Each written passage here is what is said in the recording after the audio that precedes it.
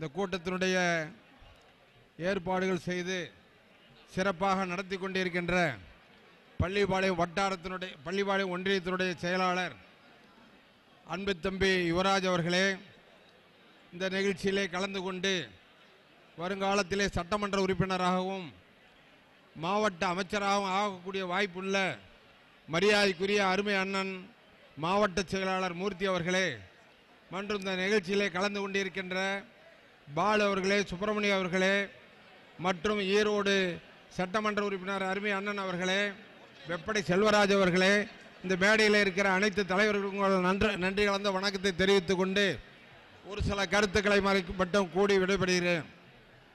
அன்பார்ந்த பெரியவர்களே நீங்கள் எல்லாம் வருகின்ற சட்டமன்ற தேர்தலில் இது உங்களுக்கு ஒரு பெரிய வாய்ப்பு. இந்த வாய்ப்பிலே நீங்கள் பயன்படுத்தி கொள்ள வேண்டியது என்னவென்று சொன்னால் ஏழு முறை இந்த சட்டமன்ற துறை தகுதிக்கு அமைச்சர் பொறுப்பு கிடைத்தது. ஆனால் ஒரு நூறு பேருக்கு கூட அமைச்சர்களாக இருந்தவர்கள் தன்னை பயன்படுத்தி கொண்டார்களே ஒழிய தன்னை வளர்த்து கொண்டார்களே ஒழிய இந்த ஏழை மக்களுக்கு ஒரு நூறு பேருக்கு கூட வேலை வாய்ப்பை ஏற்படுத்தி கொடுக்கவில்லை. சத்துணவு திட்டம் என்று சொன்னால் பணம் இல்லாமல் வேலை இல்லை.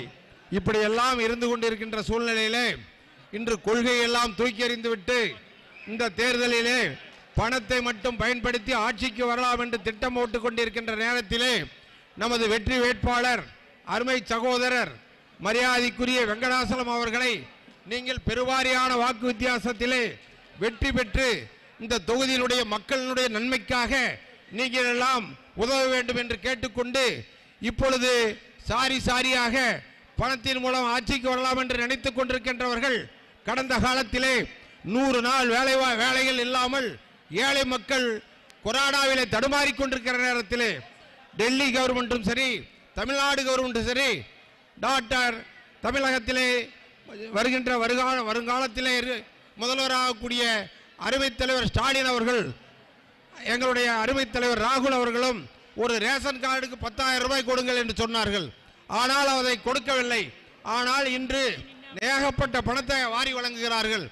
பணத்தை எப்படி சம்பாதித்தார்கள்? பணத்தை எப்படி அவங்களால் இவளை கொடுக்க முடியும்? உங்களுடைய வரிப்பணம் உங்களுடைய பணம். இதை பணத்தை கொடுத்த கூட கொடுக்க நினைக்கிறார்கள்.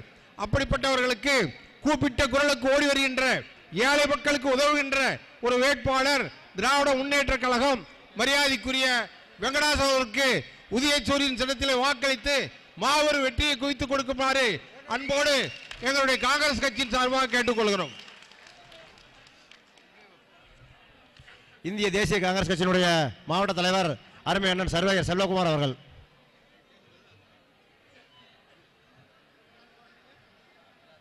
சர்வதேச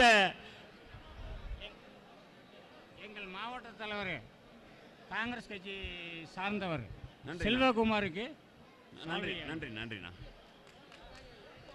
அன்று கடந்த காலங்களில் இருந்த விலைக்கும் இன்று நடைபெற்று கொண்டிருக்கிற பாசிச மோடி ஆட்சியில் இருக்கின்ற அரசிற்கும் எவ்வளவு வித்தியாசம் என்பதை நீங்களாம் அனுபவித்துக் கொண்டிருக்கிறீர்கள். கடந்த ஆறு ஆண்டுகளாக பெட்ரோல் டீசல் விலையில் மட்டும் இருபத்தி ஒரு லட்சம் கோடி ரூபாயை பெட்ரோல் மக்களிடமிருந்து பறித்து ஏழை மக்களினுடைய தலையில் சுமத்தி இந்த மத்திய அரசு வேடிக்கை பார்த்து கொண்டு இருக்கிறது. எனவே வரும் காலங்களில் கடந்த மன்மோகன் சிங் ஆட்சி காலத்தில் விவசாயிகளுக்கும் நெசவாளர்களுக்கும் கல்வி கடனை ரத்து செய்த கலைஞர் கருணாநிதி ஐயா அவர்களும் மன்மோகன் சிங் அவர்களும் கொடுத்த பல கோடிகளை தள்ளுபடி செய்தார்கள். அதே போல வருங்காலத்தில் தளபதி ஸ்டாலின் அவர்களை முதல்வராக்க அவர் கொடுத்துள்ள வாக்குறுதிகளை எல்லாம் பார்க்கும் பொழுது இப்பொழுதே நாம் வெற்றி பெற்ற மாதிரி ஆகிவிட்டது. எனவே மத்தியிலே பாசிச ஆட்சி ஒழியவும் மாநிலத்தில் எடப்பாடி அரசினுடைய ஆட்சி ஒழிக்கவும் தளபதி ஸ்டாலின் அவர்களை வெற்றி பெற செய்யுமாறு இந்த நேரத்தில் கேட்டுக்கொண்டு விடைபெறுகிறேன். நன்றி வணக்கம் ஜெயஹிந்த். குமாரம் குமாரபாளையம் சட்டமன்ற தொகுதியினுடைய திமுக தேர்தல் பொறுப்பாளர் முன்னாள் சட்டமன்ற உறுப்பினர் அருமையான சந்திரகுமார் அவர்கள். பேரன்பிற்கும் பெருமதிப்பிற்கும் உரிய குமாரபாளையம் சட்டமன்ற தொகுதியினுடைய வெற்றி வேட்பாளர் அன்பிற்கும் பாசத்திற்கும் உரிய அருமை எம் வெங்கடாசலம் அவர்களை மாவட்ட கழகத்தினுடைய செயலாளரும் ஆற்றல் மிகு செயல் வீரரும் தலைவர் தளபதியினுடைய அன்பிற்கு பாத்திரமானவருமான மரியாதைக்குரிய அண்ணன் கே எஸ் மூர்த்தி அவர்களே இந்த சிறப்பானதொரு கூட்டத்திற்கு வருகை தந்து திராவிட சித்தாந்தத்திற்கு உயிர் கொடுத்து தான் கொண்டிருக்கின்ற கொள்கை தான் அணிந்திருக்கின்ற வேட்டிக்கு சமம் என்கின்ற வகையிலே தன்னுடைய கொள்கைகளுக்கெல்லாம் பங்கம் வருகின்ற பொழுது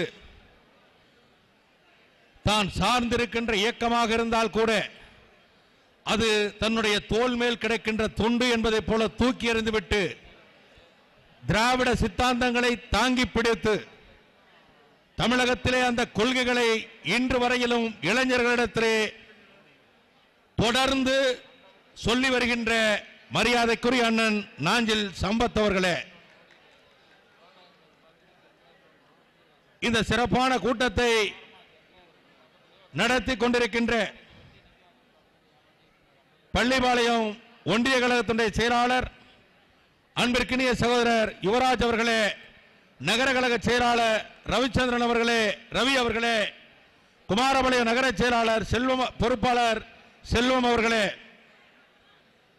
மற்றும் மாவட்ட கழகத்துடைய அத்துணை நிர்வாகிகளே இங்கே வருகை தந்திருக்கின்ற திராவிட முன்னேற்ற கழகத்துடைய நிர்வாகிகளே தோழர்களே மகளிரை சார்ந்த சகோதரிகளே தாய்மார்களே இவர்களுக்கெல்லாம் மேலாக எந்தவித எதிர்பார்ப்புமின்றி இந்த குமாரபாளையம் சட்டமன்ற தொகுதியிலே திராவிட முன்னேற்ற கழகம் வெற்றி பெற வேண்டும். உதயசூரியன் சின்னம் உதிக்க வேண்டும். எங்களுக்கு வேற எந்த நோக்கமும் இல்லை என்று சொல்லி எந்தவித எதிர்பார்ப்பும் இன்றி உழைத்துக் கொண்டிருக்கின்ற நம்மையெல்லாம் மீளாத்துயரிலே ஆழ்த்திவிட்டு வங்க கடலோரம் புயல் கொண்டிருக்கின்ற தலைவர் கலைஞருடைய அன்பு உடன்பிறப்புகளே உங்கள் அத்துணை பேருக்கும் என்னுடைய முதற்கண் வணக்கத்தை பணிவோடு தெரிவித்துக் கொள்கின்றேன். உங்களிடத்திலே மிக சிறப்பான முறையிலே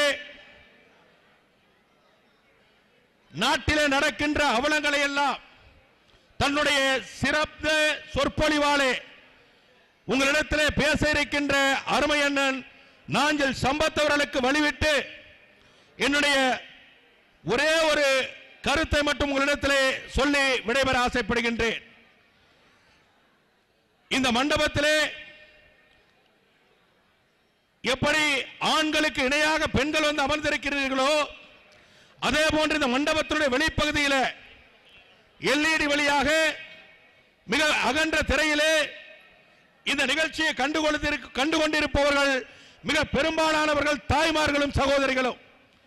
அதற்காக உங்களிடத்தில் ஒரே ஒரு கருத்தை மட்டும் பதிய வைக்கின்றேன். இரண்டாயிரத்து பதினொன்று வரையிலும் தலைவர் கலைஞருடைய ஆட்சி. இந்த தலைவர் கலைஞருடைய ஆட்சியிலே நீங்கள் அன்றாடம் பயன்படுத்துகின்ற ஒரு உணவுப் பொருள் என்னவென்று சொன்னால் பால். தலைவருடைய ஆட்சியிலே வெறும் பதினேழு ரூபாய் எழுபத்தைந்து பைசா. வெறும் பதினேழு ரூபாய் எழுபத்தைந்து பைசா. ஆனால் இன்றைக்கு இந்த அடிமை அதிமுகவுடைய இந்த பத்தாண்டு கால ஆட்சியில பாலினுடைய விலை இன்றைக்கு நாற்பதுல இருந்து நாற்பத்தி ரெண்டு நாற்பத்தி நான்கு என்று இன்றைக்கு ஒரு லிட்டர் பாலினுடைய விலை ஐம்பது ரூபாயாக மாறி இருக்கிறது அதே போல இங்கே இந்த மண்டபத்தை விட்டு வெளியே சென்று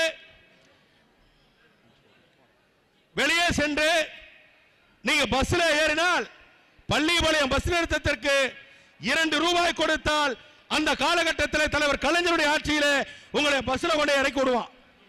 ஆனால் இன்றைக்கு குறைந்தபட்சம் ஆறு ரூபாய் இல்லை என்று ஏழு ரூபாய் கட்டணம் கொடுத்தால் மட்டும்தான் அங்கே போய் செல்ல முடியும். இதுதான் இந்த பத்தாண்டு கால தங்கமணி அமைச்சராக இருந்த ஆட்சியிலேயே அவல நிலை. இதையெல்லாம் தாய்மார்கள் புரிந்து கொண்டு வருகின்ற சட்டமன்ற தேர்தலிலே திராவிட முன்னேற்ற கழகத்துடைய தலைவர் அண்ணன் தளபதி அவர்கள் தலைமையிலே தமிழ்நாட்டிலே ஆட்சி மலர வேண்டும். அந்த ஆட்சி மலர வேண்டும் என்று சொன்னால் குமாரபாளையம் சட்டமன்ற தொகுதியிலே உதயசூரியன் உதைக்க வேண்டும். அதற்கு அருமை அண்ணன் வெங்கடாசலம் அவர்களுக்கு உதயசூரியன் சின்னத்திலே வாக்களியுங்கள் என்று சொல்லி வாய்ப்புக்கு நன்றி கூறி விடைபெறுகிறேன். நன்றி வணக்கம். மதச்சார்பற்ற முற்போக்கு வெற்றி வேட்பாளர் அருமைச்சவர் வெங்கடாஜலம் வெங்கடாச்சலம் அவர்கள் பேசுவார்.